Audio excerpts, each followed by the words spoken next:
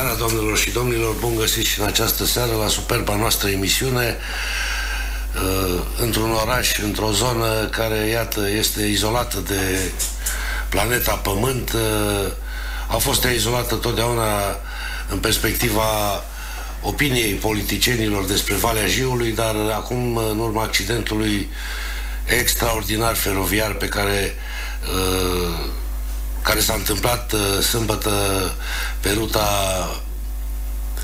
Bănița Merișor, uh, iată și traficul feroviar s-a întrerupt pe multe luni de zile, nu știu dacă românii noi suntem în stare ca să punem lucrurile acolo în ordine într-un uh, timp destul de scurt.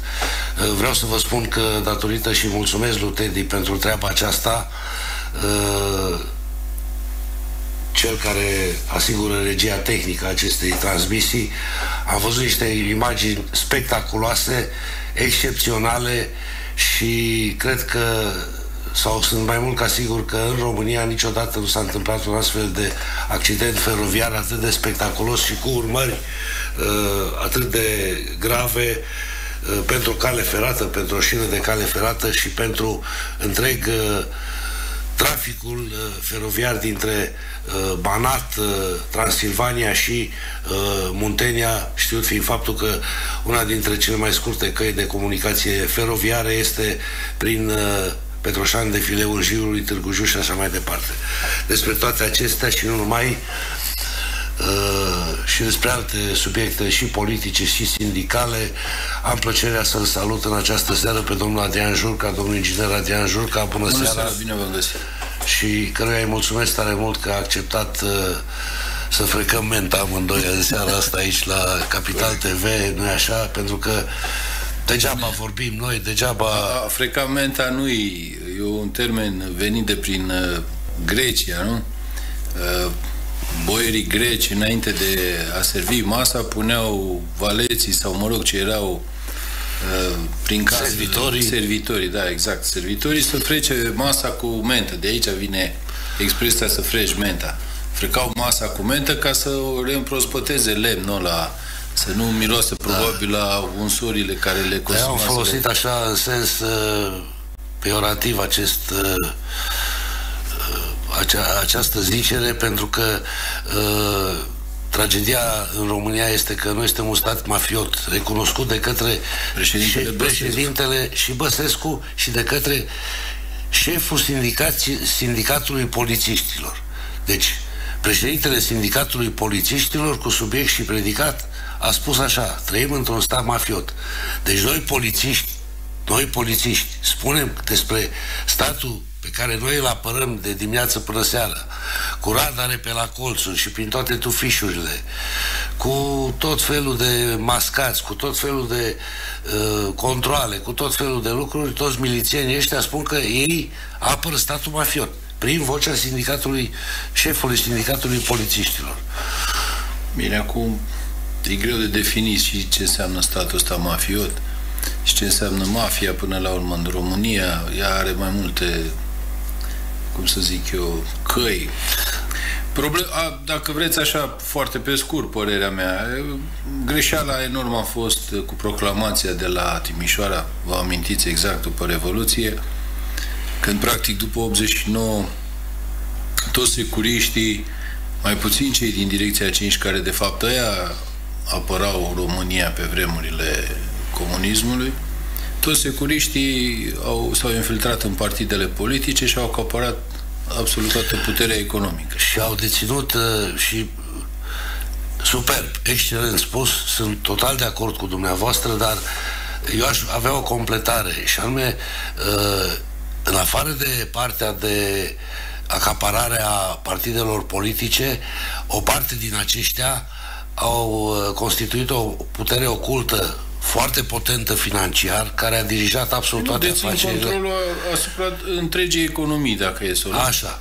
Uh, și atunci eu am stat și m-am gândit așa că uh, de fapt uh, au greșit și Băsescu și șeful sindicatului polițiștilor atunci când au spus că România este un stat mafiot. Păi într-un stat mafiot sau în, în interiorul mafiei, păi când te prinde nașul că ai băgat mâna în buzunarul da, da, lui. vedeți, problema la... Frate, te împușcă în direct. România, la ora actuală, este că nu, nu există nașul ăla. Tot e o părere personală, există multe fracturi după 89, multe grupări din astea securiste uh, au acaparat puterea economică și, bineînțeles, imediat și politică. Și influență și... Uh, acum, ca să găsim o logică, nu poți, de exemplu, să te plimbi pe străzile din Petroșani supărat și să te trezești că vine partidul și spune, mă, de ce ești supărat? Păi eu am și eu nevoie de o fabrică, hai că-ți dau eu o fabrică. Că privatizările cam așa s-au făcut. Uh, Bun, dar privatizările acestea s-au făcut așa și în ultima vreme uh, am și dețin informații destul de exacte în legătură cu jaful imens care s-a întâmplat în uh, urma acestor privatizări. Că ăla care zicea că avea nevoie de o fabrică se ducea la partid și partidul dădea o fabrică. Ăla nici măcar habar n-avea ce să facă cu fabrica respectivă. Și până la urmă soluția a fost simplă. Au venit uh, samsarii aceștia de fier vechi și bă, nene, tăiem fabrica, la, dăm la fier vechi, Așa că radem teror, terenul. undeva o statistică. Parcă au fost undeva la 1750 de, de fabrici și întreprinderi în România care toate au dispărut, care au fost tăiate la fier vechi. Eu nu mai țin minte cifrele exacte, dar la un moment dat, într-o emisiune, am prezentat un material care spunea exact câte fabrici au fost, uzine, da, fabrici. Undeva peste 1000, clar. Eu cred, dar nu mi amintesc foarte bine și nu vreau să avansez niște cifre inexacte, dar din câte îmi amintesc, ar fi fost peste 2600. Posibil. Peste 2600. Să nu uităm că pe vremea lui Ceaușescu în România, dacă nu munceai, erai arestat. Da? Deci făceai pușcărie dacă nu munceai. Dar să nu vorbim, să zic, de, de România, să vorbim de locurile noastre, care cât de cât le știm. Să nu uităm că în Valea Jiului era o grămadă de fabrici, de la fabrici de mobric, mobilă la confecții, fabrici de tricot, confecții, confecții tricotaje. metalice, com, mașini și utilaje, Urumpu, ulterior uh, Ipsuruem, uh, mai era o fabrică pe la, la ieșirea din oraș, abatoare și tot felul de chestii de genul ăsta. În Valea Jiului erau în 89 Așa, numai ca o discuție, că nu rezolvăm noi problema Văijului acum. Uh, ajungeam aproape la 190.000 de locuitori, luat Uricani, Cimpa, da? Da, tocmai de aceea am fo- folosit acest eufemism și anume că noi, de fapt, frecăm menta, pentru că într-un stat normal la cap, dezvăluirile pe care noi le facem zi de zi, ceas de ceas, și... Ai nu, asta e ideea, că noi dezvăluim oamenilor de rând, de pomană, care n-au putere, și cei de fapt care au putere și care trebuie să facă, ei sunt ăștia care dețin A, am control. înțeles acum, da, da, eu deci, mai încet la minte așa și... Deci, noi... deci ăia care dețin puterea și frânele și frâiele, exact cum... șefii, șefii mafiei. Exact cum am merge la Pentagon și ne-am plânge că Trump a bombardat Siria. Pentagonul să zică bine, o anul o cunoștință, probabil o să-l certăm, să vedem câte rachete au consumat sau ce au făcut acolo. Vedem după Să vedem dacă mai are buget. Da, și după ce bă, pleci de la Pentagon, aia îl sună, băi Trump, vezi că veni niște papagali aici cu el. și au zis că tu ai făcut nu știu ce prostii. Fă ceva asta cu papagalii ăștia, ca să nu mai vină pe la Ei, noi pe aici. Valea Jiului, da, era erau 190.000 de locuitori, nu vorbim de industria minieră în sine, vorbim de populație, da? Totul era coordonat de la Petroșani, dacă vă amintiți, printr-un secretar general. Exact, era municipiul Petroșani, nu erau, adică erau localitățile Așa. respective care, cum să vă spun eu... Deci... În rest aveau niște administrațiile locale, să spun în Uricanu, pe în Vulcan, Petrila, etc., erau ceva minime, minimorum, nici nu știu ce reprezenta pe Relațiile acolo. cu publicul locale. Așa. Erau coordonate de la Petroșani, un aparat foarte restrâns, Acum suntem, uh, în opinia mea, Valea Jiului urmărește traiectoria mineritului. Mineritul s-a distrus fiindcă, la un moment dat, uh, numărul minerilor a fost depășit uh, de 3, 4, 5 ori de personalul TES, adică nu mai avea cine să muncească. Asta se va întâmpla și legat de Valea Jiului acum. Administrațiile publice locale sunt atât de stufoase și nu are cine să producă pentru a le întreține. La unde vor claca, cu siguranță, părerea mea. Nu există altă variantă. Uh, să nu Bun, atunci, atunci să frecăm în continuare menta, stimați telespectatori, Uh, poate că ne ajutați și dumneavoastră să frecăm menta asta în mod uh, constructiv uh, dacă apelați numărul de telefon pe care domnul Teddy îl va, la, iată, l-a și afișat pe ecranele dumneavoastră. Domnule inginer, sâmbătă a avut loc accidentul acela feroviar tragic și spectaculos. Trei luni de zile, trei luni de zile, minim, nu se va putea circula pe ruta Bănița Merișor. In, inclusiv sau implicit, cărbunele din Valea Jiului nu va mai ajunge la Mintia. Ieri a fost pornită termocentrala Paroșeni. Uh, ce implicații sunt în uh, economia voi, în viața noastră de zi cu zi? Acum, uh, ca să facem o rectificare, nu cred că e cel mai spectaculos accident. În România a mai fost, dar nu rețin eu exact anul, prin 1930 ceva, dacă nu mă înșel, un accident în care au fost peste 100 de morți. Nu, nu, aici, aici vreau să fac o precizare ca să mă înțeleagă și telespectatorii și dumneavoastră. Deci, prin absurd, dacă acel tren ar fi fost un tren de persoane, plin de călători, da, dar modul în care arată era un carnagiu incomensurabil. Deci mă, mă refer la aspectele tehnice ale accidentului. Ah, da, la modul în care au căzut vagoanele acelea în râpă, la Bine, locomotiva înfiptă în pământ. Și CFR-ul merge pe un principiu ilogic, adică decât să repare și să facă lucrurile să fie bine, reduc uh, viteza. Au mai nu știu amănuntele ce s-a fi întâmplat acolo pe calea ferată, dacă sunt vinovați mecanice, dacă e vinovată uh, infrastructura, dacă e vinovat uh, utilajul, poate probabil uh, o fi fost defect. Dar este totuși uh, părerea mea cam uh, dubios așa că o cale ferată unde nu se circulă cu viteză prea mare să se întâmple un asemenea accident. Deci e clar acolo ori o cauză umană, ori o cauză tehnică a fost. Uh, și eu nu mai explic. Acum, uh, din toate datele, și am aici un articol publicat uh, de o, de o revistă, de, o, de un ziar uh, central, se pare că uh, n-au, uh, garnitura de tren n-a mai avut frâne până la urma urmei. Nu-mi dau seama cum, pentru că eu știu că are vreo două, trei sisteme de frânare alternative. Pică unul...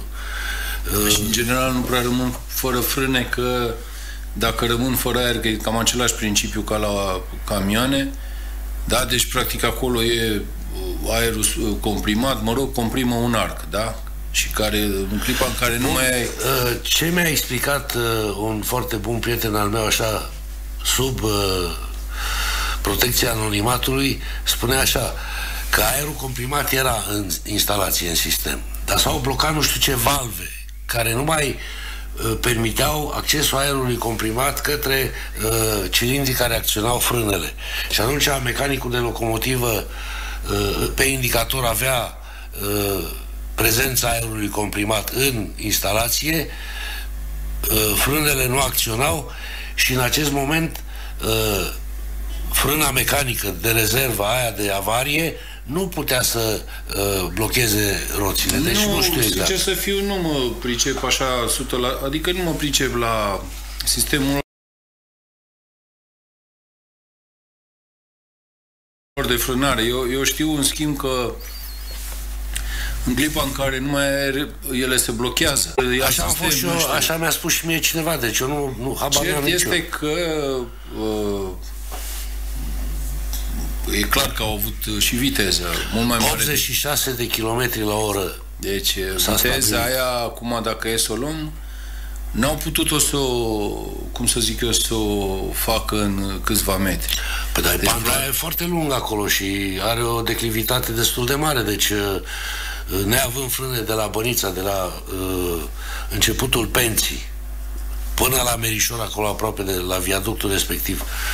Vreo câțiva kilometri buni și la o garnitură de 16 vagoane. Vă dați seama ce masă, ce, ce, ce dinamică a avut. Da, păcat că s-a întâmplat. Acum, să vedem ce învățăminte să trag din uh, tragedia asta, cine, ce reacție va avea.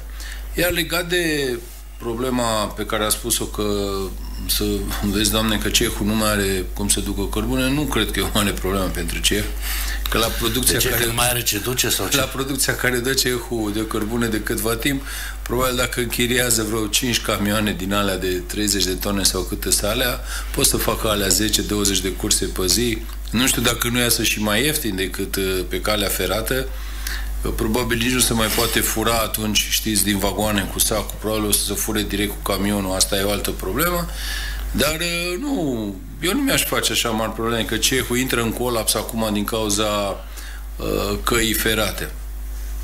Când a dat cehul de vreo 2 ani de zile încoace cărbune? N-a dat niciodată. Păi și atunci ce uh, activitate mai are? Uh, păi activitatea, ca să o luăm așa în iarnă, uh, dacă e să luăm firul evenimentelor, la un moment dat să discutaseră că vezi, domnule, ieșirea din insolvență a produs nu știu ce necazuri în funcționarea aceea, nu este nimic din ăsta adevărat. În iarnă, cehul nu a avut stocul de cărbune pe care trebuia să-l aibă. În România, în fiecare an, guvernele, în luna martie, pregătesc cel puțin din punct de vedere legislativ, documentația pentru iarna care vine. Adică și în cadrul ceh s-a dat o hotărâre de guvern prin care ei trebuiau să asigure o anumită cantitate de cărbune pentru iarnă.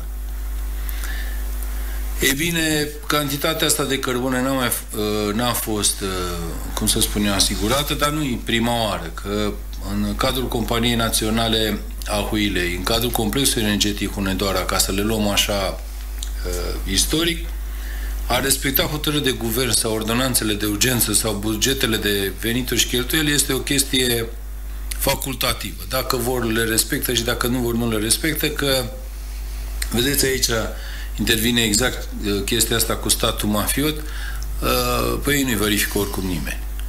Da? Deci pe nimeni n-a fost verificat din cadrul complexului energetic Unendora sau din uh, vechea companie națională a Huilei că nu s-a respectat vreun, uh, vreo hotărâre de guvern sau vreo ordonanță de urgență. N-au niciun fel de problemă băieți. Dar mi-a spus cu ce se ocupă până la urmă urmei. Acum, în iarnă neavând stocul de cărbune, dacă vă mai amintiți, la un moment dat a apărut această criză a gazelor, a energiei electrice, de aia au explodat prețurile, la un moment dat s-a ajunseseră la vreo 600 și ceva de lei, dacă nu mă înșel, megavatul oră, Asta o să le vedem noi prețurile astea acum, cât de curând în, prețul, în uh, facturile noastre de curent.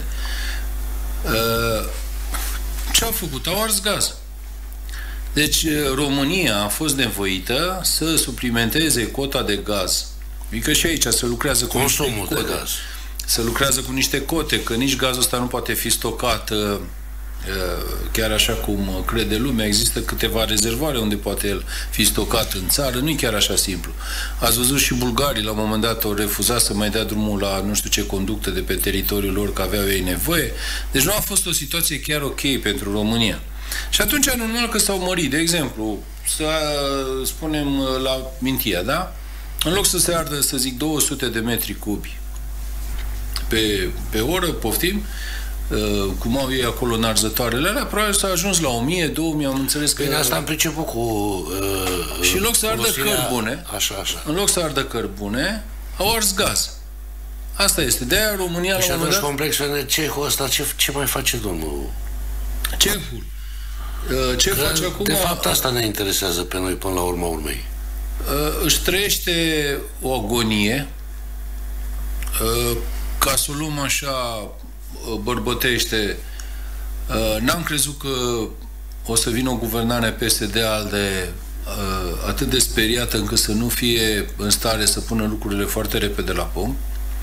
Încă sunt în faza de, uh, cum să spun eu, de a culege date, de a mai vedea ei ce și cum, să mai așteptăm un termen de judecată, să mai vedem ce se mai întâmplă. Bun, dar care e situația juridică a cehului acum? E în insolvență, nu e în insolvență? Nu, nu, e nu este ce? în insolvență, deci uh, uh, Tribunalul Hunedoara le-a respins cererea de intrare în insolvență din două cauze relativ uh, ușor de identificat. Unul, dând și fac plăți preferențiale, nu eu o spun, o spune o instanță de judecată. Și plus de asta ei trebuie să respecte legea minelor. Legea minelor spune că nu poți chiar așa cum vrea mușchiul lui uh, Nica sau lui Melță să bage minele astea în, uh, în insolvențele nu pot fi băgate în insolvență după cum vrea oricine și oricând. Acum, uh, au făcut apel, apelul se judecă în data de 13 la Curtea de Apel al Băiulea. Eu sunt aproape convins 100% că această apel, acest apel va fi respins dintr-un motiv simplu. În motivarea tribunalului de respingere a cererii de insolvență ce Există o formulare undeva chiar în capătul uh, motivării în care spune că trebuie ținută cont de decizia 588 din 2016 a Curții de Apel referitoare la intrarea în insolvența ceh. Deci, cu alte cuvinte, tribunalul, în baza Decizia unui... ce spune? Că nu are voie să intre cehul în insolvență. Bun. Uh, vreau să vă citesc acum până la pauză un articol apărut în uh, pe un site din ăsta băsisto-securist, care cred că este foarte interesant pentru dumneavoastră și să-l comentăm, pentru că face referire la celebrul Bogdan Stănescu. Domnul Bogdan Stănescu mai e pe aici ceva, mai învârte ceva pe aici, nu, nu mai învârte. Nu mai este. Da, am învârtit. Dânsul m-a dat în judecată că l-am făcut în mai multe Adică, mă rog, l-am mai criticat, să spun așa. Dar o să comentez, că nu stăm acum de deci, lui Bogdan Stănescu cu emisiunea lor. Uh, știți despre nuclearul, nuclear electrică, știți ce?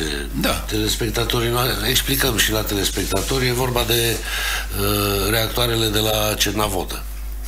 Deci, propunerile Daniela Lulache și Bogdan Stănescu pentru reînnoirea funcțiilor de administrator al nuclear electrica nu ne aparțin. Acestea fiind făcute de un alt acționar minoritar. A declarat pentru site-ul Băsist tovarășul ministru Toma Petcu ministrul energiei. Acesta susține că Ministerul Energiei nu avea cum să susțină cele două propuneri, întrucât există o nemulțumire față de actuala conducere a nucleară electrică, din care cei doi fac parte. Nemulțumirea vizează rezilierea contractului cu uh, Compania Națională a Uraniului, care a vulnerabilizat industria nucleară integrată a României. Aspecte cercetate în acest moment de Corpul de Control al Premierului Uh, așa, Daniela Lulac este cunoscută pentru relațiile apropiate cu șefii ALDE, aceasta în contextul în care ministrul energiei este tot de la ALDE. Și acum, uh, vă mai amintiți, eu am vorbit anul trecut și în dungă despre uh, mafia care a făcut ca să se rezilieze contractul dintre Nuclear Electrica și Compania Națională a Uraniului pentru ca să se aducă în faliment Compania Națională a Uraniului, băieții deștepți să pună mâna pe rezerva de uh, uraniu de la Compania Națională a uh, Uraniului și, bineînțeles, după ce se privatizează această companie, după ce e falimentată, băieții deștepți vindeau nuclear electrica o cantitate de uraniu destul de importantă, fără să facă nimic. Deci acesta era Suveica.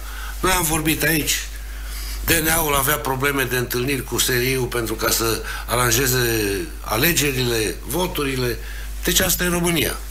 Bine, legat de uraniu, problemele sunt mult mai ample, că prima dată, dacă vă mai amintiți, au băgat în faliment regia autonomă. A, apă grea, da. Apă deci, grea, da, da, de la Severin. Da, da. Așa, da, deci era singura fabrică de apă grea din Europa de Est și cea mai mare.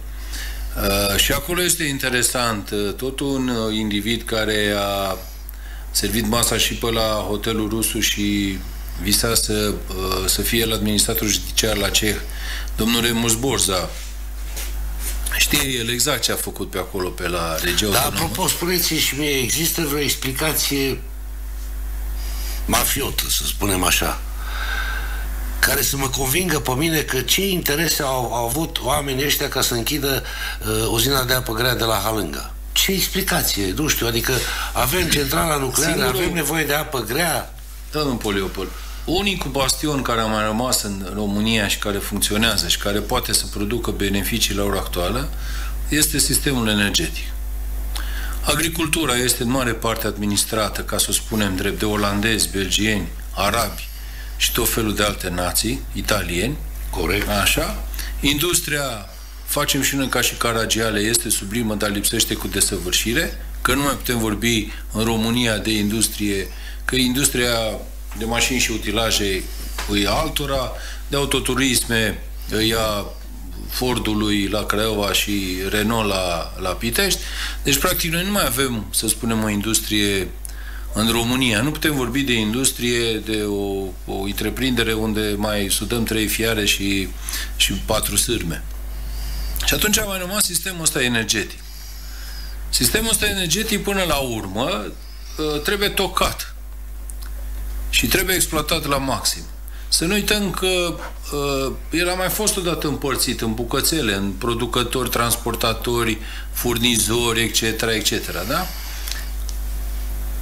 Așa cum este hidroelectrica o, o țintă, așa este și uh, atomul nuclear o țintă, cum este și cehul o țintă, cehul este o țintă, ca să înțelegeți unde, unde e jocul, uh, trebuie rasă de pe fața pământului uh, cehul, dintr-un motiv simplu. Serviciile de sistem de care beneficiază cehul trebuie preluate de altcineva. Păi și de cine? Pentru că cel mai sigur serviciu de sistem poate fi asigurat de termocentrala Parușeni și Mintia. Nu. Nu. Se pot, uh, se pot, uh, se adică, poate ajunge și la, se poate ajunge și în Gorj, parte din serviciile Bine, astea de sistem. Gorjul este deja un producător foarte mare, care e producător... Da, dar uh, da, dar dacă el ar beneficia de se, uh, anumite servicii de sistem, Gorju ar fi uh, ok din toate punctele da, da, de știți, vedere. Eu stau să mă gândesc așa că e o diferență între ardele lignitului și pornirea unei termocentrale care funcționează pe lignit și pornirea unei termocentrale care funcționează pe huilă. Deci timpul de reacție este mult mai scurt da, la După care, să nu uităm un amănunt important. A mai apărut o termocentrală pe gaz undeva în inima Transilvaniei, Ungurii care, care au... Iernut. Așa. Ungurii care uh, au un conducător uh, acum vin uh, Paștile, deci omul are ceva în pantaloni, da? Deci are tupeu. Uh, uitați-vă că a, a bătut palma cu rușii. Cred că dacă se întâmpla să bată palma cu rușii Ponta Cioloș nu vorbim, de, sau Cioloș sau... Dar Cioloș n-avea cum să bată palma cu rușii da, pentru că, că Cioloș era, era trimisul a, Bruselului, nu? Vreau să spun, cred că a explodat toată lumea, dar uitați că la unul nu se întâmplă nimic. Uitați-vă strategia maghiară în ultima perioadă că vor să își mai facă un reactor nuclear. Când toată lumea spune, vai de mine, trebuie să oprim atomul nuclear, că sunt toxice, că sunt ce uitați, ungurii își fac. Nu, uitați-vă Și aici, aici aș vrea să fac o paranteză și nemții renunță la, la centrale atomice, da, atomonucleare și revin pe uh, arderea cărbunilor în centrale pentru producerea curentului electric. Bine, uh, știți cum în Germania uh, nu poți să ai încredere niciodată. Deci ei n-au niciodată o strategie uh, comună cu toate țările. Ei au o sigură strategie a lor. Deci să ei, le fie bine lor. Da, să le fie bine lor. Și uitați-vă că acum se pune problema ca să se facă o, o traiectorie, uh, să spun așa, de transport uh, a energiei electrice, culmea, de la Peci înspre România. Deci, înțelegeți că totul, uh, totul face parte dintr-o o strategie. O să despre toate treburile acestea după pauză. Va trebui să facem o pauză de publicitate, dar înainte de pauza de publicitate, haideți să ne lămurim cu acest Bogdan Stănescu. Da, este la ora actuală un om Ehm, și o spun sub spirit de glumă, indispensabil României, este singurul om care are 12 uh, mese, uh, cum să spune, 12 joburi la stat. Da. Da? Deci... Are, are el cu nevastă sa vreo 400 de mii de uh, lei pe an venit de la stat. De la stat, da. Nevastă sa lucrează la Ministerul Justiției și ea indispensabil acolo pe un post echivalent cu postul de judecător. Vă dați seama ce bani de acolo. Bun, dar banii e un singur job. Dar el are 12 la stat. Deci, um, Auziți, n-aș vrea să aveți și dumneavoastră un job din ăsta care e remunerat așa cu cred că toată lumea de, de lei. Toată lumea cred că ar vrea. Și să stați El este la atomul nuclear, omul ăsta. Este la Polchim. Este la BNR. La BNR. Acolo nu se știe salariul lui. Este la, spuneți aici, a fost în Valea Jiului. Da. Da, deci el este un tip uh, indispensabil. De ce, de ce există mereu astfel de oameni de care ne lovim în fiecare zi și pe care DNA, era să zic CNA-ul, DNA-ul nu îi cercetează absolut deloc. De ce? ce a făcut omul ăsta în anul ăla în care a frecat menta? Pardon, a tăiat frunză la câini în cadrul... Sunt oamenii sistemului de care vorbeam. Că ăsta e băiat tânăr, așa îl văd așa. De exemplu, de fostul mai. ministru Victor Grigorescu. Da? Victor Vă mai Vlad amintiți? Grigorescu. Cum? Victor, Victor Vlad, Vlad da. Grigorescu. Vă mai amintiți că l-au descoperit cu niște bani prin insulele Uh, Caiman... Păi dar eu de-aia v-am uh, citit această chestiune cu Lulachi și cu așa. Musiu Bogdan, pentru mai că zice cineva el i-a numit pe ăștia acolo mai și el zice, e șeful Nu mai zice nimeni nimic. Dacă era... O... Deci haideți să vă spun ceva și după aia facem pauză de publicitate. Eu am auzit din surse confidențiale foarte sigure de la fostul director al Companiei Naționale a Uraniului, cu care mă cunosc foarte bine, da? Unul dintre ei mi-a spus așa, citez, S-a rupt contractul cu nuclear electrica pentru ca, prin intermediul unor prepuși intermediari, Vlad Grigorescu, Victor Vlad Grigorescu, să pună mâna pe rezervele de uraniu de la Compania Națională a Uraniului. Mă înțelegeți? Am făcut-o și pe asta. Să vină potera să mă... Bine, poate vi se întâmplă să bea pentru mă, mărturie falsă, cine da, știe, da, da. că se posibil orice. Bine. Pauză de publicitate și revenim după aceea în superba noastră emisiune și noi vă recomandăm, stimați telespectatori, să participați la Frecatul Mente aici în Capital TV pentru că merită. Măcar așa ne mai destindem și noi, că e destul de urâtă viața noastră de zi cu zi. Publicitate.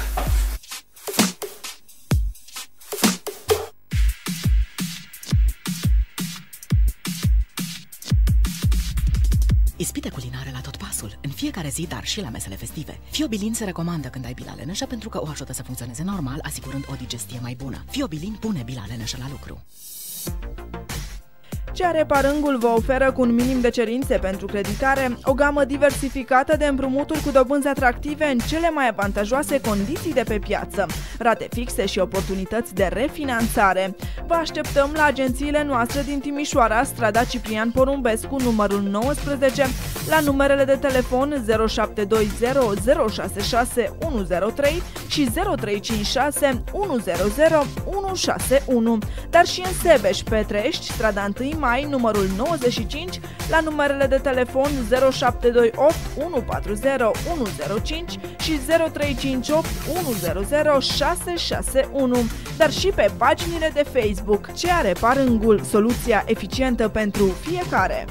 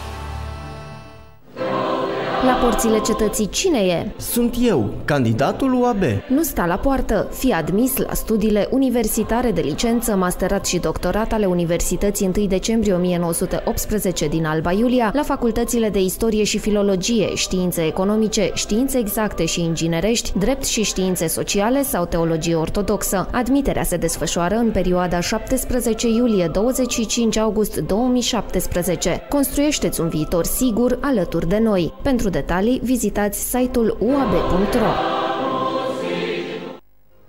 firmă din Petroșani angajează șoferi posesori de permis de conducere categoria B pentru transport colete în Germania. Condițiile de muncă sunt atractive, iar pachetul salarial este unul foarte bun. Pentru mai multe detalii ne puteți contacta la numărul de telefon 0726 118 069. Siguranța la volan este prioritară pentru orice șofer, iar pentru asta ai nevoie de cei mai buni specialiști pentru mașina ta. Alba Autoservice este locul în care vei găsi soluțiile potrivite. Consiliere service mecanică auto, reparații, instalație electrică și electronică, analiză și diagnoză, piese sau accesorii auto. În plus, Alba Autoservice oferă servicii de tractare autoturisme, preluare și predarea mașinii la domiciliu, totul la prețuri imbatabile. Alba Autoservice, Oarda de Jos, strada Biruinței numărul 70, 20, telefon 0258 812231 0740 205 775. Alba Autoservice, cea mai bună alegere pentru mașina ta. Vino la Alba Autoservice, spune că ai văzut reclama la Capital TV, iar noi îți verificăm gratuit mașina. Societatea Comercială Eurofruta SRL organizează selecții de personal feminin pentru campania de căpșuni Afine și Zmeură. Înscrieri la telefon 0247 411 247. Orice ar zice unii, nu-ți fie cu accentul tău. No, și când te bucuri, bucură-te să se auză. Că românii mereu vorbire în multe feluri. Anunțăm românii de pretutindeni de lansarea de noi arome. De la primele dureri în gât, ia Faringosept. Oprește dezvoltarea bacteriilor și astfel ajută la vindecarea infecțiilor acute din gât și din cavitatea bucală. Noile Faringosept, cu gust dulce acrișor de fructe de pădure, cu gust răcoritor de mentă sau cu gust aromat de vanilie. Faringosept dă voce românilor din 1963. Acestea sunt medicamente. Citiți cu atenție prospectele.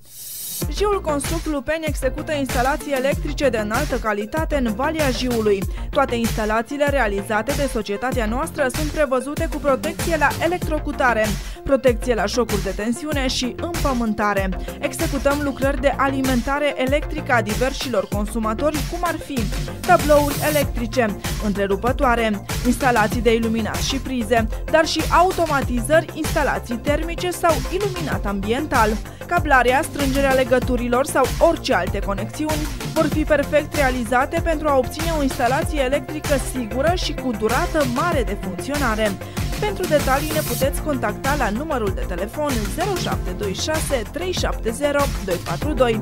Giul Construct Lupeni, soluția ta pentru instalații electrice pe viață. Centrul Medical Laser Terapie din Petroșani este primul din județ care a introdus tratamentul de recuperare cu laserul. Vă așteptăm aici pentru ameliorarea sau tratarea durerilor, indiferent de originea lor. La noi puteți beneficia de gimnastică medicală, kinetoterapie, dar și de masaj terapeutic sau de relaxare. Pentru pierderea de centimetri și a celulitei, vă oferim tratamente cu revoluționarul Zentis, cea mai nouă și provocatoare metodă de a topi grăsimile acumulate pe zone extinse ale corpului, împreună cu capsula Slim Active, terapia cu vacum sau procedura de electrostimulare. De asemenea, vă așteptăm și pentru Detox Pub sau IPL, lumină intens pulsată, una dintre cele mai promițătoare tehnologii în estetica medicală. Centrul Medical Laser Terapie, în spațiul Eurojobs lângă școala Igheduca Corpul Nou. Programări la 0354 113938.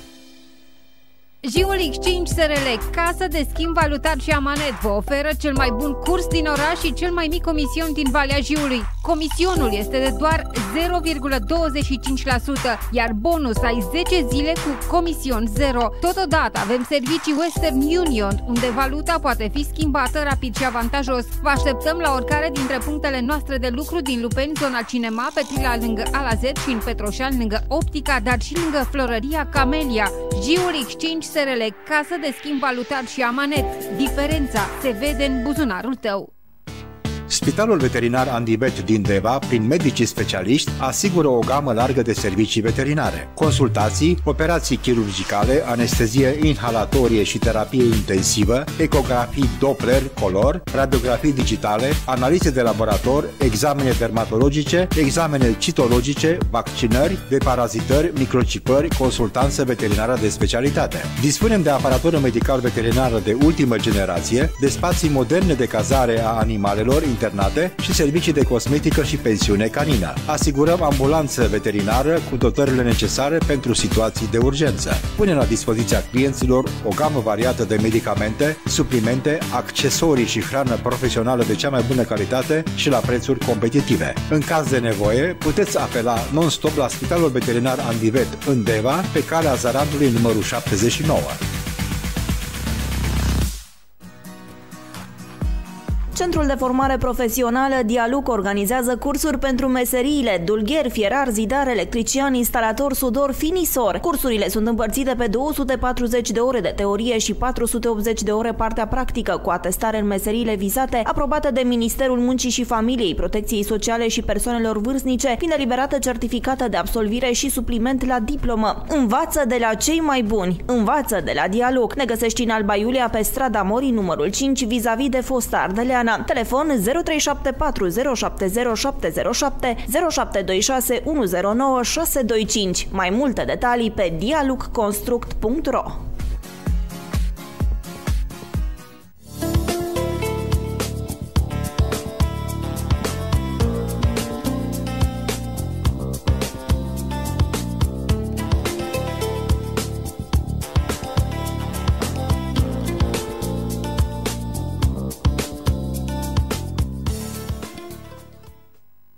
Electromax Petroșani angajează absolvenți și studenți ai facultăților cu profil tehnic cunoscător de limba engleză. CV-urile se depun la sediul Electromax din Petroșani, strada Lunca, numărul 36. Liderul mondial pe piața dispozitivelor medicale de termomasaj cu pietre de jad există și în Alba Iulia. Dacă ești chinuit de dureri cronice de spate, dureri ale articulațiilor, gât înțepenit, probleme ale circulației sângelui, dureri și tensiuni musculare, insomnii și stres zilnic, apelează la Seragem, 6 terapii în 38 de minute. Seragem îmbină tehnicile medicale tradiționale din Orientul îndepărtat cu tehnica modernă a secolului 21. Alege să trăiești fără dureri. Sunt doctorul Buciozan Nicolae, îți recomand Ceragem. Aici vei găsi ceea ce tu ai nevoie. Eu am ales. Seragem, partenerul sănătății. Alba Iulia, Bulevardul Revoluției 1989, numărul 12B, etaj 2. Programări la numărul de telefon 0747 287 429.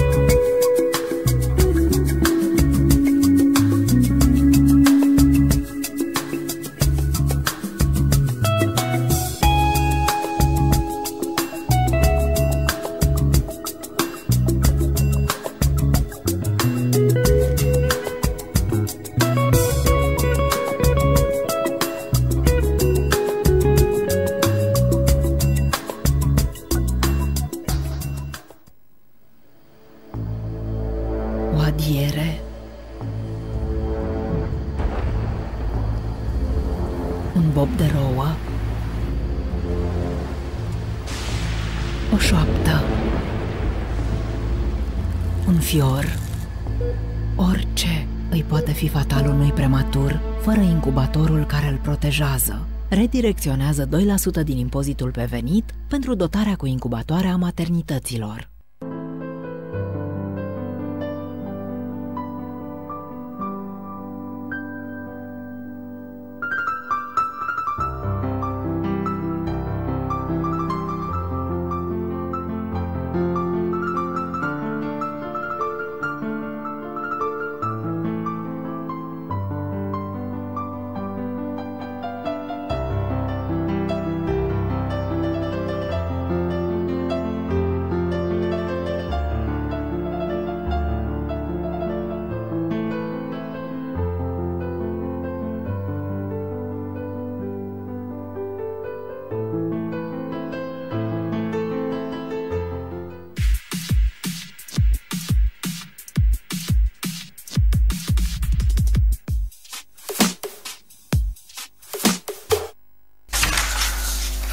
Direct am revenit, doamnelor și domnilor, pentru partea a doua ediție noastră din această seară cu domnul Adrian Jurca, proaspăt pensionar, așa, nu? Pensionar?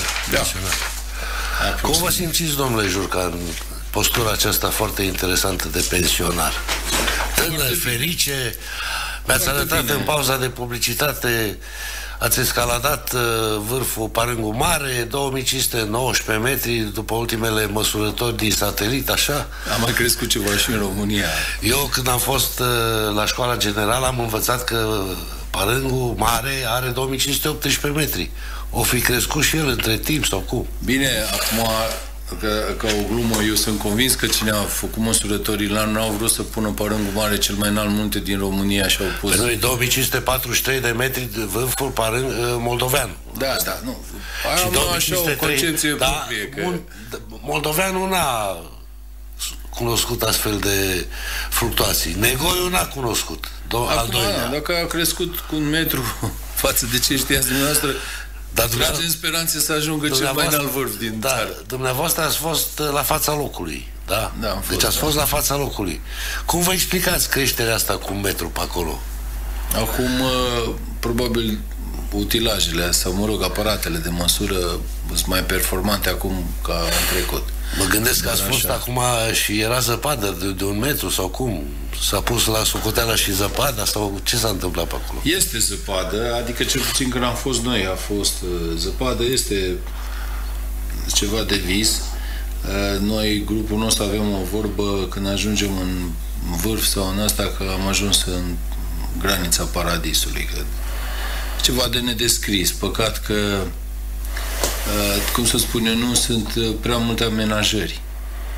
Că dacă ar fi uh, niște amenajări relativ simple în zona asta, în Parângă, în Retezat, în Godeanu, în Șureanu, în partea asta altă, probabil am avea foarte mulți turiști în uh, Valea Jiului. Există acum un trend și în România, dar în Europa e mai de mult, dar în România acum de ceva timp a apărut, așa zisului schi de tură și a turelor de deplasări în, în munte.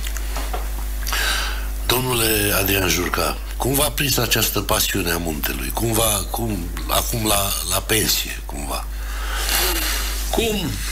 Simplu, meritul e mai mult a unui bun prieten de-al meu, Ilie Silveșan, și a grupului din care el face parte. Inițial am luat-o așa mai ușor, Părângul Mic, Cârja, Părângul Mare, am fost Și Oslea, uh, astfel de Vârful tururi Galben, presupun și o condiție fizică deosebită. Uh, Acum, ce să zic, păi, în Părângul Mare a calculat un bun prieten al meu și au fost, au fost 26 de kilometri dus întors. Și acești Deci nu e- 26 de kilometri ați parcurs într-o zi, nu? Într-o zi, da. Într-o zi, începând după ora 9, că doar la 9 pornește telescaunul spre Parâng, și până seara la undeva la 8 ne-am întors uh, înapoi. Acum, ce să zic, e normal că îți trebuie o condiție fizică. Din grupul meu, eu stau cel mai slab cu condiția fizică, de aia mă mai și antrenez singur, ca să zic așa, că trebuie să ajung la nivelul Păi nu, lor. dar mă gândeam că pe vremea când erați lider de sindicat și duceați bătălii din acestea cu domnul Nica, cu domnul nu știu care, cu sindicatul Muntele, cu judecățile, da. așa, nu prea aveați timp de mișcare. Nu, și îmi pare rău că am neglijat aspectul ăsta. În același timp e bine că l-am început și acum ca să că nu mă mai plictisesc, că probabil dacă începeam mai de mult mă plictiseam. Acum cu bunii mei prieteni am discutat, de fapt nu cu unul dintre ei în seara asta, ne-am stabilit un obiectiv măreț să atacăm un vârf de 3000 de metri și vrem să mergem în Dolomiți, Eh, să atacăm un vârf de 3000 de metri. Bine, înseamnă pe antrenament puse cap la cap niște echipamente care noi nu le avem, deci trebuie să spunem. Noi ce avem noi așa ne permite să mergem la un 2500 de metri și cam atât.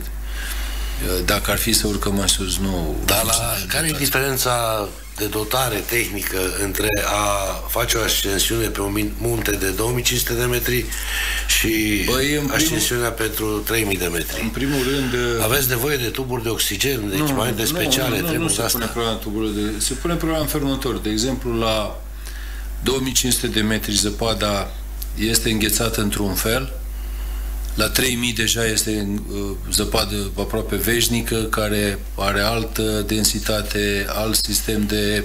adică alt mod de a a percepe bocancul, să spun, îți trebuie colțari. Deci alt tip de bocanci. Alt, alt, alt tip de colțari, colțari care să facă față la zăpada aia. Adică trebuie să te agăți cumva, nu, nu poți să mergi cu același echipament cu care uh, merg să spun la rusul după bureți, uh, să începi să, să urci pe munte. Trebuie să țină glezna. În, uh, în Dolomiți, unde vrem noi să urcăm, e vorba de a merge pe scări, pe cabluri, pe mai multe chestii, dar suntem foarte atrași de, de, de Da, e o, e, o, e o activitate foarte plăcută și interesantă și mi se pare uh, spectaculos ca cineva care a ieșit la pensie din minerit, uh, fiind încă în putere, pentru că România asta este mentalitatea statului mafiot, oamenii care sunt în putere trebuie dați afară ca să facem economii.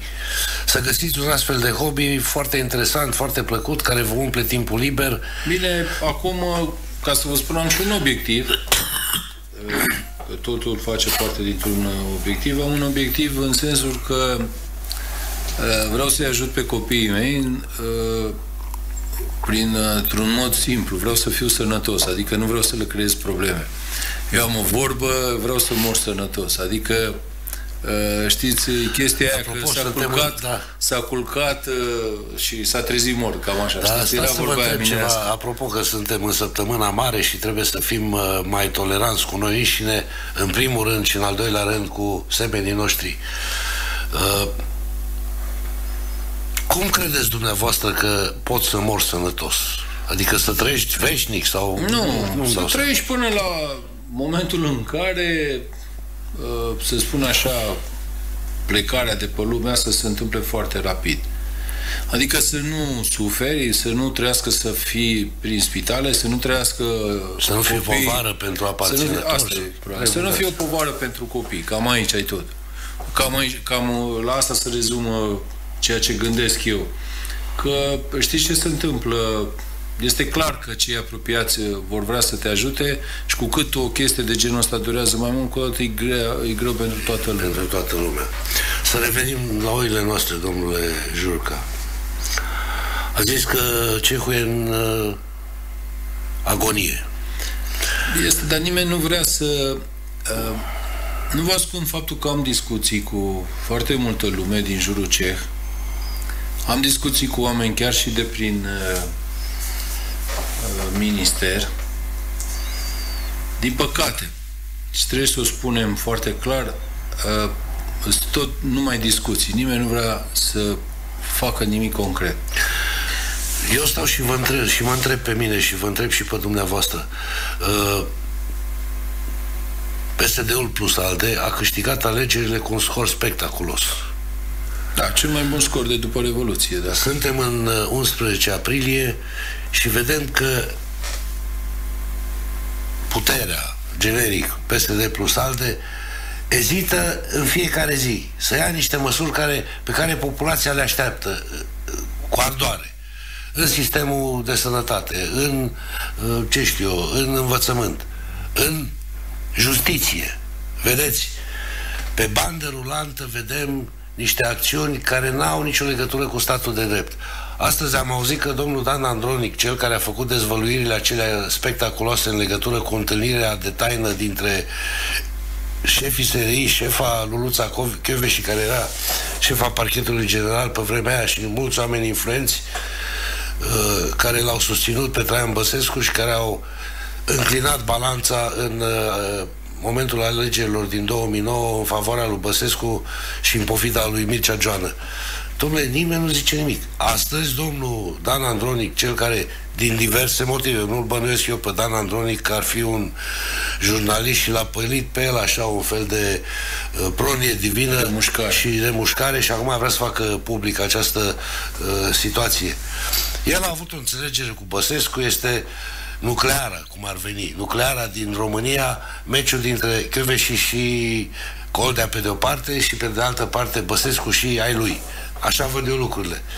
Dar Coduța Chioveși are încălzit o ciorbă sleită așa de foarte multă vreme și l-a chemat pe Dan Andronic la DNA astăzi, la două zile după mărturisiri. Cum se întâmplă așa? Trebuie să fii Am zis eu că mai încet la judecat, așa și la raționament, dar și mie, așa încet fiind, mi se pare toată, toată treaba asta cu stăcoața albă. Acum, dacă vreți părerea mea, eu v-am spus-o și la începutul emisiunii. În România nu există un sistem mafiot și un sistem politic sau un sistem corupt și un sistem politic. Nu. În România există mai multe sisteme în cadrul acelorași sisteme. Deci eu sunt convins că uh, uh, nimeni nu are controlul absolut nici asupra seriului, nici asupra altor servicii, nici asupra 2 și un sfert, sau mă rog eu ce mai e prin, prin câte, am înțeles că vreo șapte sau 8 servicii în România. E, acum uh, uh, eu trebuie să recunosc că o să iau un pic apărarea lui Căveși, vrând nevrând a zgândărit un mușuroi, că are și o grămadă de lucruri care îi se pot reproșa, sunt de acord cu, cu toată lumea, dar totuși a răsculit un mușuroi. Ce cred eu? Așa din afară, că sunt un om care, mă rog, informațiile pe care le-am și eu și ce am mai discutat cu altă lumea. Din păcate, Băsescu și toată clica asta care a condus România vreo 10 ani de zile, uh, prin numirile pe care le-au făcut, ei au sperat că cei pe care ei au numit o să-i protejeze pe toți, pe frate sau pe, pe tot clanul lor.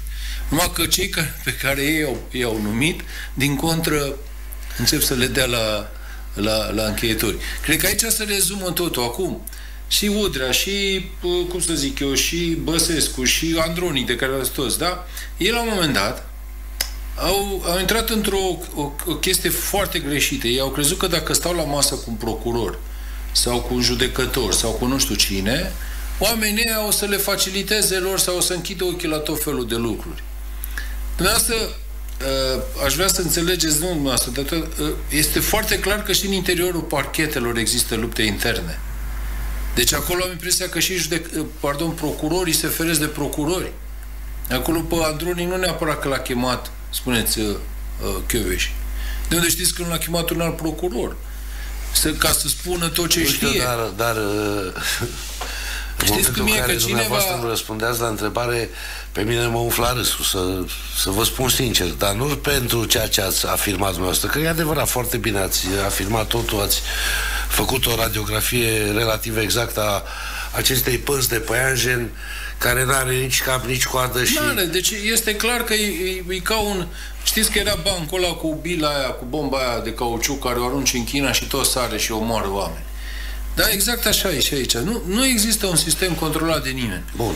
Și mă gândeam uh, că am văzut, uh, să zicem, un interviu luat de către o deontologă lui Mircea Băsescu în pușcărie, în, în penitenciar. Mă rog, Mircea Băsescu... Dar, nu, nu, dar vreau să vă spun așa, domnule, adică oamenii ăștia ne mint pe noi pe față. Și Mircea Băsescu, și Traian Băsescu, și toți acești oameni care acum sunt într-un fel în conflict. Și Elena Udrea, și Căve, și, și Coldea, și toată lumea.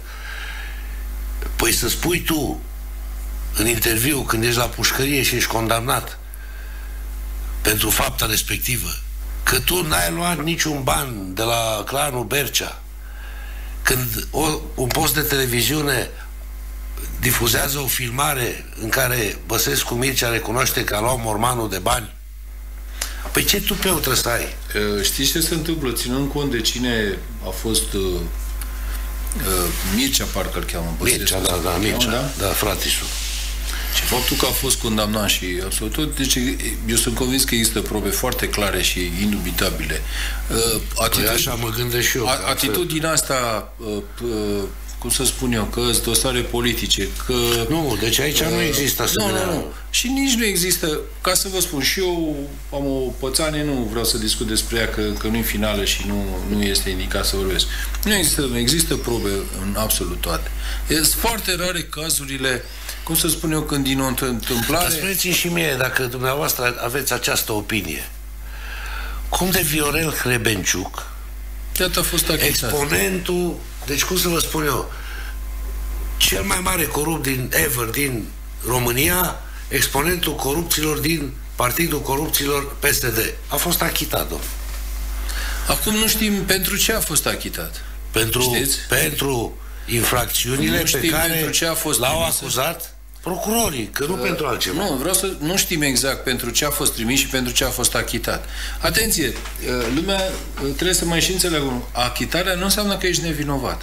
Dar ce înseamnă? Achitarea înseamnă că uh, instanța de judecată probabil consideră că uh, vina ta sau aportul tău adus în anumite fapte nu este uh, atât de, cum să spun eu, de dur și de, cu un impact atât de mare încât este neapărat nevoie să fii și condamnat sau... Nu, domnule, așa ceva nu cred. Domnule, Ba nu, de ajuns. achitat, atenție. Deci eu vă spun Uh, 100%, uitați, așa încercați ceva nu odată cred. să chemați un avocat, că eu nu sunt avocat. Eu am vorbit cu avocat și a- eu pe pielea mea am fost trimis în judecată pentru evaziune fiscală.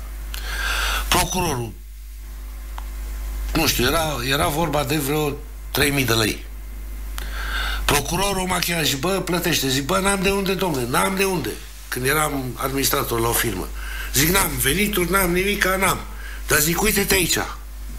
Uite-te aici, în tot dosarul ăsta. Dacă vezi vreo semnătură de-a mea pe vreo hârtie. Deci, toată activitatea financiar-contabilă era gestionată de directorul financiar. Și directorul general al firmei respective semna pentru răspunderea companiei. Eu, ca administrator, am fost trimis în judecată. Și până n-a fost dezincriminată infracțiunea de stopaj la sursă, a fost la Alba Iulia de am făcut potecă acolo pentru ca să îmi demonstrez nevinovăția.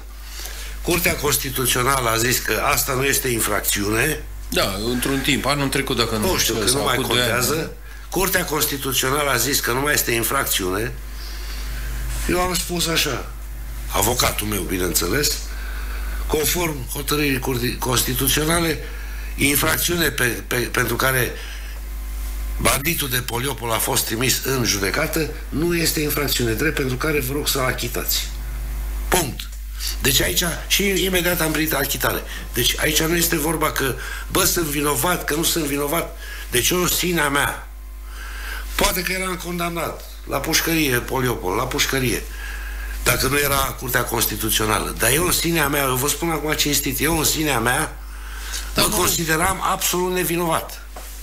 Iar legat de Hrebenciu, chiar uh, nu știu exact de ce a fost achitat, dar să așteptăm finalul, că uh, știți cum e, mi se pare că e achitat în prima instanță de, da. de judecătoria Mai sunt sectorului și, 5, da. dacă nu mă înșel. E, cum e și cazul Udrea, ca să ne amintim când uh, era în vervă, când venea în Valea Jului, cum îi se puneau covorașul roșu în față și toată lumea era în jurul ei, acum... Apropo, ați fost și dumneavoastră pe la sindrofiile alea care se organizau când venea La Montana, sus, în uh, Straja. La Nu, Vulcan, n-am fost, aici. N-am fost, n-am fost. A, o singură dată am și o poză pe internet, dacă nu mă înșel, cu Elena Udrea, când a fost la ziua minerului, la Lupeni, dar nu uh, era deputat, dar nu mai era stați că să vă și spun, cu trei ani, dacă nu mă înșel. Atunci am, au- ne-am întâlnit cu Elena Udrea, dar în rest n-am avut niciun fel de tangență cu ea. Bun. Să vă spun, domnul Hrebenciuc, pentru ce a fost achitat. Știți dosarul mită pentru PSD acolo cu uh, prin Brăila, pe nu știu unde unde a fost condamnat Da, în mă, dosarul ăla o cu să spun Ioan că știu. Nicolae, cu nu știu ce. Ei, în dosarul ăla Viorel Hrebenciuc a fost achitat. Bun, acum ce să zic, nu... Da, bun, hai- haide să, să rezumăm, să... să Acum nu orice să om mergem care pe ajunge în scurtătură. instanță de judecată, iată, uite, Care uitați, să și facem cazul o pauză dumneavoastră de trebuie publicitate. să ajungă după gradi. Dar de ce? Că judecata înseamnă că sunt mai multe părți care își pun Da fiecare dar, părerea. da, dar în momentul în care, foarte bine, dar în momentul în care o hotărâre rămâne definitivă și este o hotărâre de achitare, nu mai avem ce comenta dacă vrem să respectăm statul Da, de drept. corect. Aici este corect. Haideți să facem o pauză de publicitate pentru că am depășit puțin timpul și revenim pentru ultima parte uh, a emisiunii noastre. Deci, publicitate, vă rog.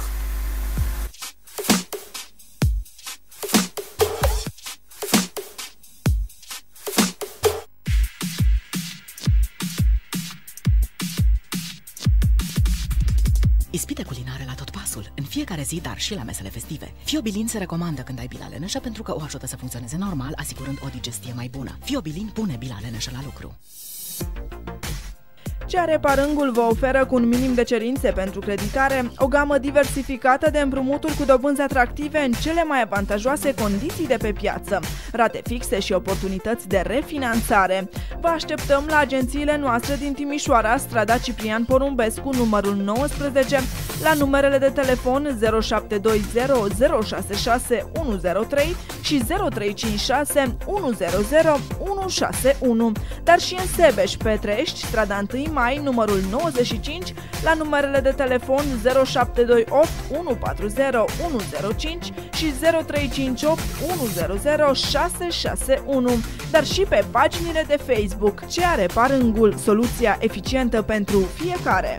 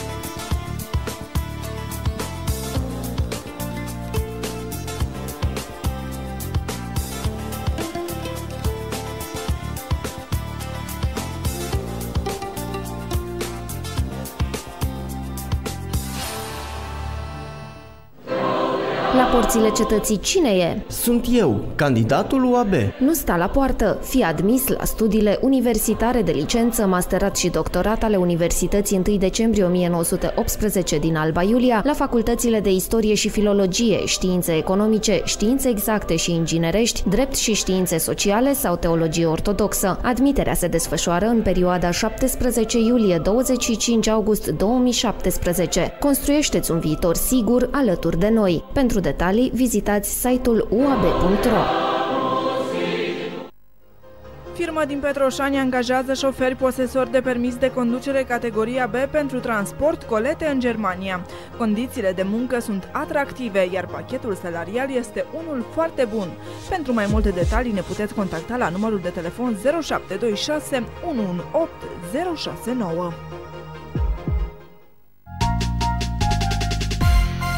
Siguranța la volan este prioritară pentru orice șofer, iar pentru asta ai nevoie de cei mai buni specialiști pentru mașina ta. Alba Autoservice este locul în care vei găsi soluțiile potrivite. Consiliere service mecanică auto, reparații, instalație electrică și electronică, analiză și diagnoză, piese sau accesorii auto. În plus, Alba Autoservice oferă servicii de tractare autoturisme, preluare și predarea mașinii la domiciliu, totul la prețuri imbatabile. Alba Autoservice, Oarda de Jos, strada Biruinței numărul 70, 20, telefon 0258 812231 0740 205 775. Alba Auto Service, cea mai bună alegere pentru mașina ta. Vino la Alba Auto Service, spune că ai văzut reclama la Capital TV, iar noi îți verificăm gratuit mașina. Societatea comercială Eurofruta SRL organizează selecții de personal feminin pentru campania de căpșuni Afine și Zmeură. Înscrieri la telefon 0247 411 247. Orice ar zice și unii, nu-ți fie cu accentul tău. No, și când te bucuri, bucură-te să se auză. Că românii mereu vorbiră în multe feluri. Anunțăm românii de pretutindeni de lansarea de noi arome. De la primele dureri în gât, ia Faringosept. Oprește dezvoltarea bacteriilor și astfel ajută la vindecarea infecțiilor acute din gât și din cavitatea bucală. Noile Faringosept, cu gust dulce acrișor de fructe de pădure, cu gust răcoritor de mentă sau cu gust aromat de vanilie. Faringosept dă voce românilor din 1963. Acestea sunt medicamente. Citiți cu atenție prospectele.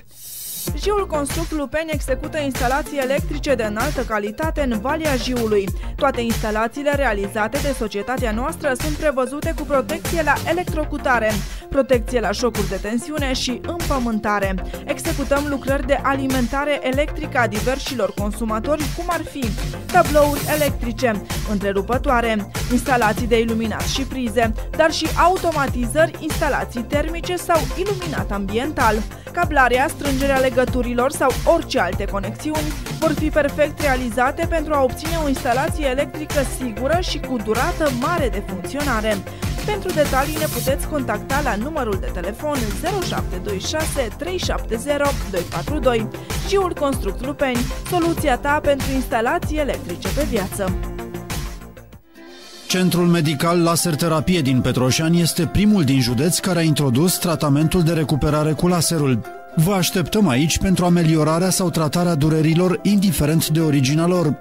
La noi puteți beneficia de gimnastică medicală, kinetoterapie, dar și de masaj terapeutic sau de relaxare. Pentru pierderea de centimetri și a celulitei, vă oferim tratamente cu revoluționarul Zentis, cea mai nouă și provocatoare metodă de a topi grăsimile acumulate pe zone extinse ale corpului, împreună cu capsula Slim Activ, terapia cu vacum sau procedura de electrostimulare.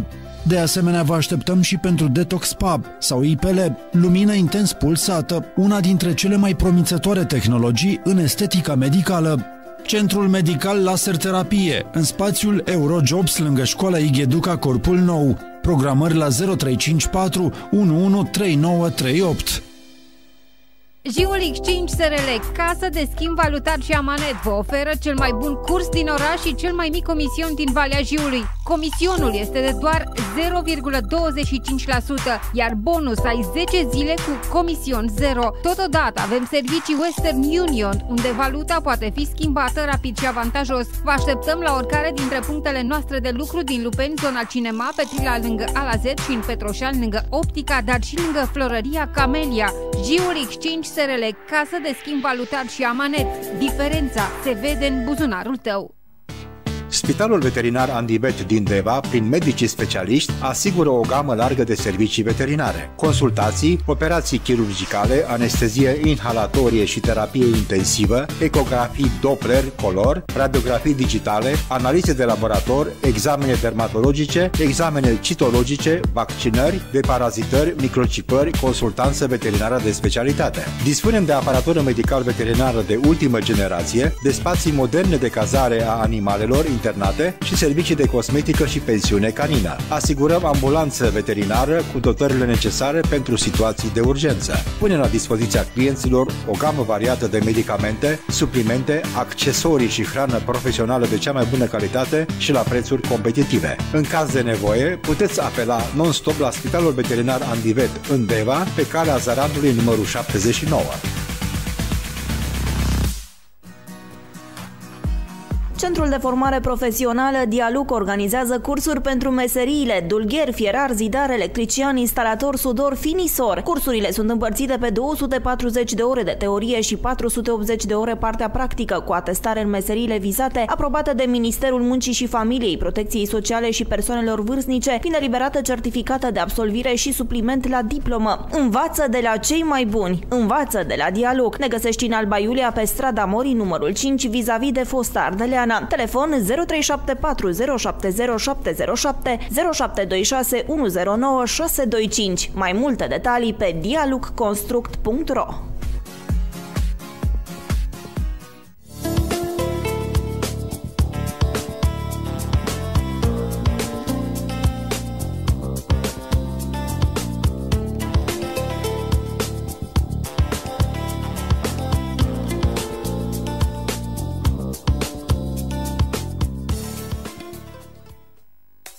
Electromax Petroșani angajează absolvenți și studenți ai facultăților cu profil tehnic cunoscători de limba engleză. CV-urile se depun la sediul Electromax din Petroșani, strada Lunca, numărul 36.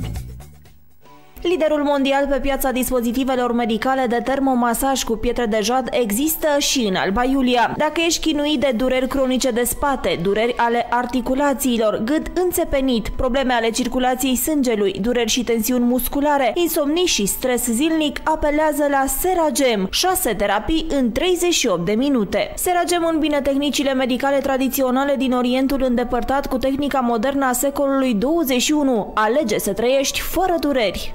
Sunt doctorul Buciozan Nicolae, îți recomand Ceragem. Aici vei găsi ceea ce tu ai nevoie. Eu am ales. Seragem, partenerul sănătății, Alba Iulia, Bulevardul Revoluție 1989, numărul 12B, etaj 2, programări la numărul de telefon 0747 287 429.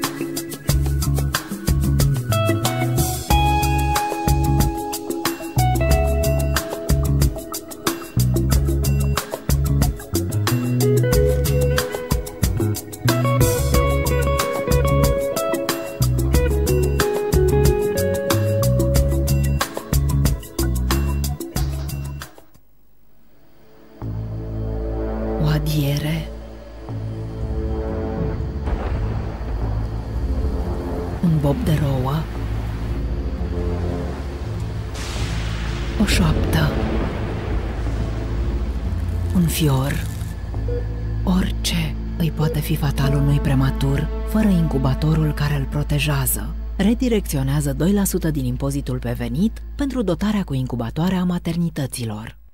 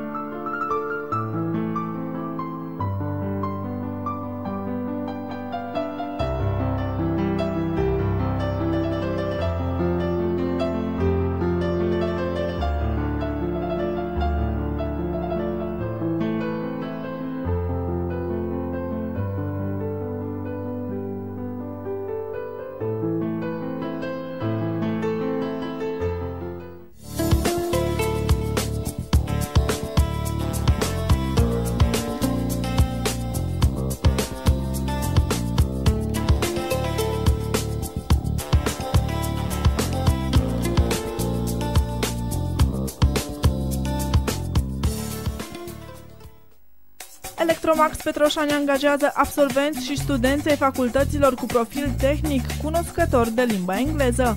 CV-urile se depun la sediul Electromax din Petroșani, strada Lunca, numărul 36. Liderul mondial pe piața dispozitivelor medicale de termomasaj cu pietre de jad există și în Alba Iulia. Dacă ești chinuit de dureri cronice de spate, dureri ale articulațiilor, gât înțepenit, probleme ale circulației sângelui, dureri și tensiuni musculare, insomnii și stres zilnic, apelează la Seragem, 6 terapii în 38 de minute. Seragem îmbină tehnicile medicale tradiționale din Orientul îndepărtat cu tehnica modernă a secolului 21. Alege să trăiești fără dureri. Sunt doctorul Buciozan Nicolae, îți recomand Ceragem. Aici vei găsi ceea ce tu ai nevoie. Eu am ales. Seragem, partenerul sănătății, Alba Iulia, Bulevardul Revoluție 1989, numărul 12B, etaj 2, programări la numărul de telefon 0747 287 429.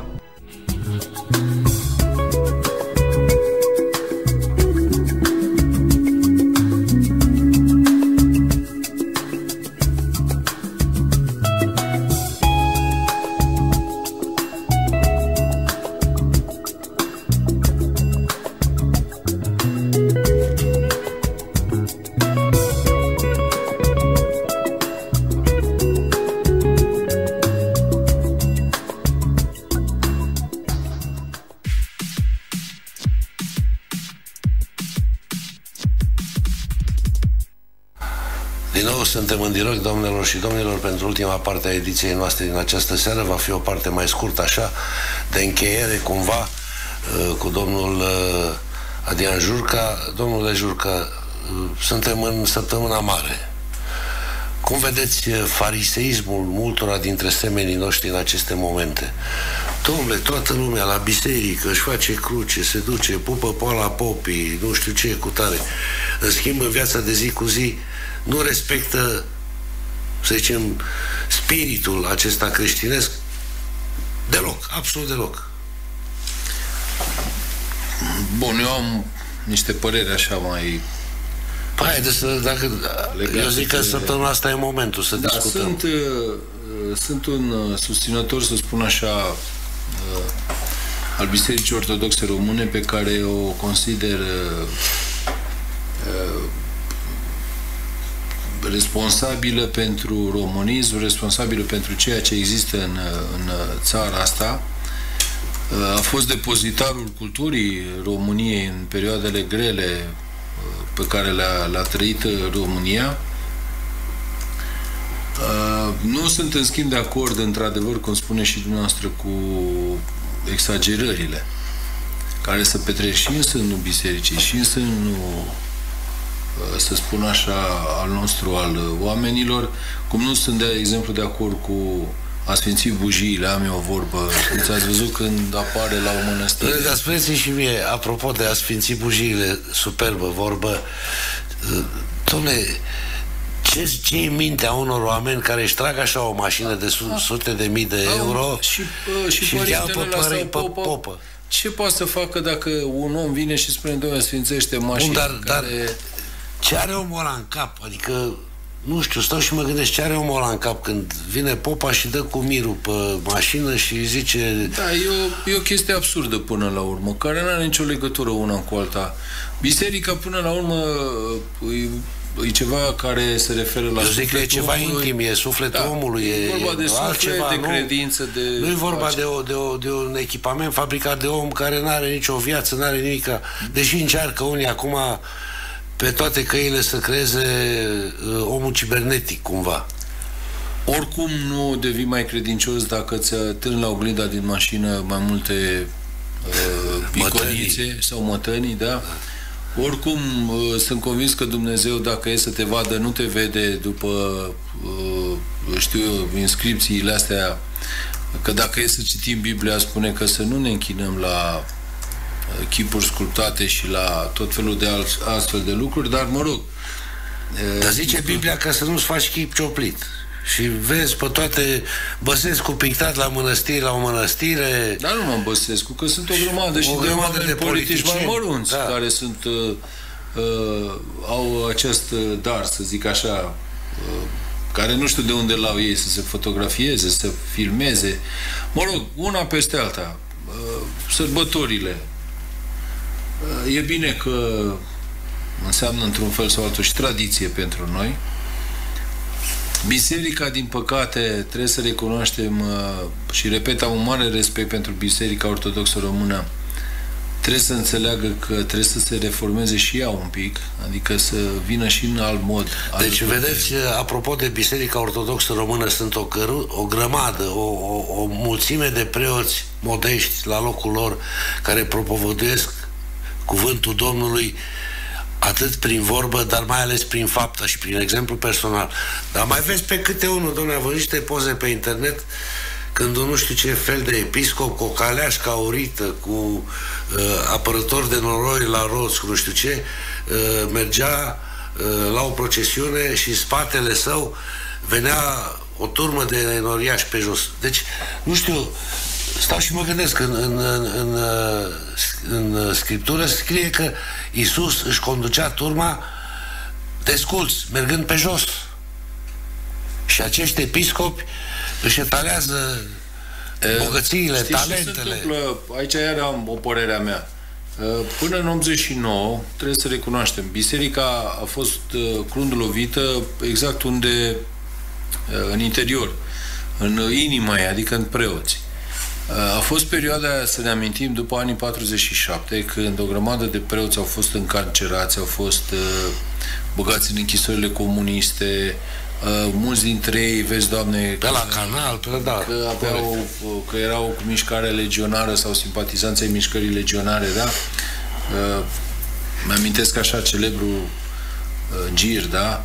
Uh, care și el a fost prin închisorile comuniste și uh, ulterior uh, mă rog, a avut o altă atitudine, dar de ce mi-am amintit de Gir? Că Radu Gir, că și la Livezene am pus niște versuri ale lui Radu Gir pe perete și curios că au rămas acolo, nimeni nu le-a mâzgălit vreodată. A fost perioada aia în care, după 47, o grămadă de preoți au fost băgați în închisori în lagăre, la munci silnice, etc.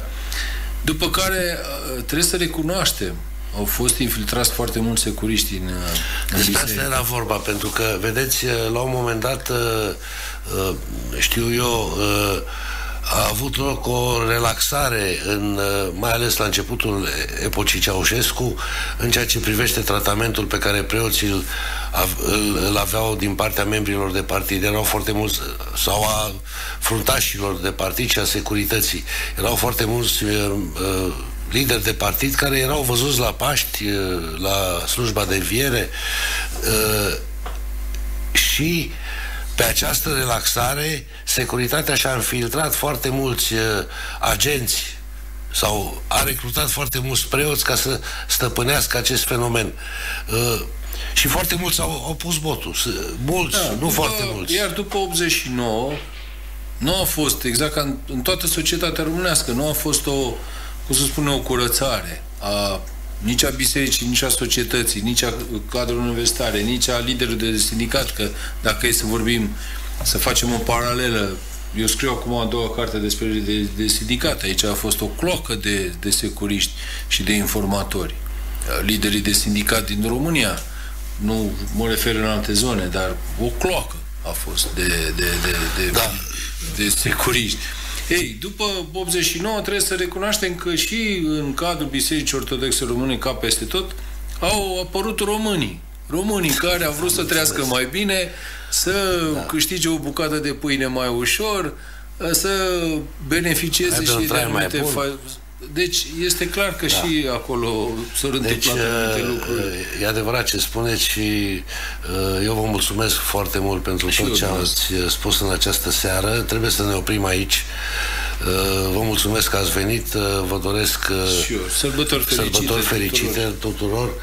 Doamnelor și domnilor, să faceți ce zice popa, nu ce face popa, unii dintre ei, și să fiți cu toții mai buni cu voi și vă în această săptămână mare uh, care ar trebui să aducă un pic de lumină și bucurie în sufletele voastre.